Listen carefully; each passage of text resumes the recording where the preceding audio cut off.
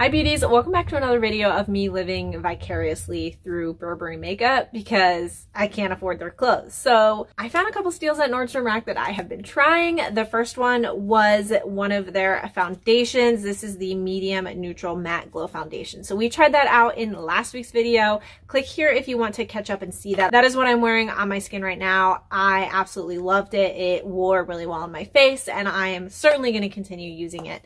The next product that we are going to try out today is the Liquid Lip Velvet, and I have this in the shade Dark Rosewood. So we're going to try this on. I'm going to do a wear test throughout the day and let you guys know what I think. But without any ado whatsoever this week, make sure to hit that subscribe button, ring the bell right next to it, and cue the intro. I know I look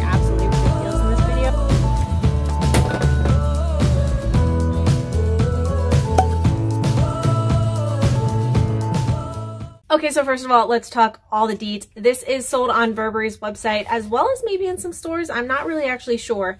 Um, but this retails for $34. So if you can get to a Nordstrom rack, I did find this fairly recently and I snagged this little beauty for $6.97.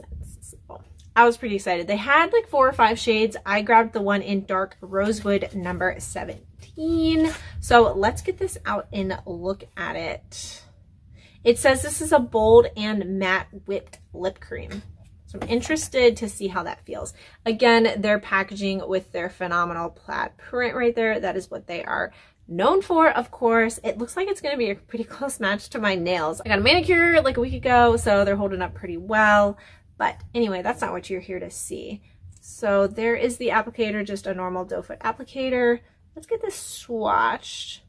Ooh, okay, definitely I can tell right away that it is matte, but I am loving that color. This is a color that I stray towards. I was gonna get a kind of more bold, fun color, but I've been doing a lot of reds on my channel recently, so I wanted to go back to my tried and trues, which is like the mauve kind of plums or just like natural dusty rose pinks. So I'm gonna line my lips really quickly. It, for my little baby lips, I tend to always need a lip liner. I'm just going to go in with the NYX Nude Retractable Lip Liner. Let me pop this on and we'll be right back. All right, also, I don't know if you guys can hear the thunder. I'm sorry if you can, but it is like thundering up a storm. Zeus and friends are up there bowling because it is just thunder after thunder after thunder.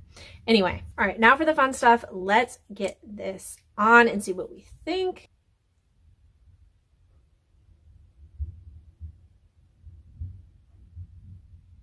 So right away, I'm loving the color. Easy to wear, would go with almost anything. When I do like a bold makeup look, I like to kind of have like a neutral lip.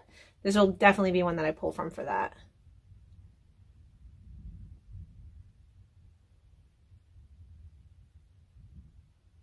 All right, there we go. So let's talk through the packaging. Applicator, nothing special. Um, the component seems pretty normal. I do like how it comes down to like this pretty tip here, almost like a V or a diamond. That's kind of cute. It is definitely a matte, but as I'm right now, it is kind of a creamy matte. So I can see where they're saying it's a whipped lip cream, but also matte. I'm getting that. I was a little worried about like, how is it going to be whipped? How is it going to be cream? How is it going to be matte? It somehow works. The tricky part is going to be how it stays throughout the day. So look down the description box. If you are on mobile, click the title. That is how you get the description box to pop up. And I will write down there how it lasts throughout the day. I do have like a meal I'm going to eat after this. So that's kind of always a good test. And I'm going to wear it for a few more hours. I will write down there whether it is a flop or whether I continue liking it. Because right now, I really like it. Like really like it. It feels creamy and hydrating, but it still feels matte. It's hard to explain. I I wish I could do a better job explaining it for you guys, but as of right now, I like this. Go grab one, especially if you can find one at the rack. It's going to be worth it. Pick up a couple colors. Now I'm like, do I need to go back and get the other colors? Tell me in the comments. Talk me out of going back and getting the other colors or just throw caution to the wind and be an enabler and tell me to go back and get the other colors. Maybe I could film like a Nordstrom rack haul if you guys want to see that. That would be really fun. Again, if you missed the Burberry foundation video, it will be linked down in the description box as well, so you can get all caught up.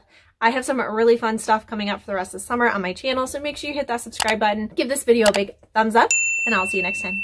Bye!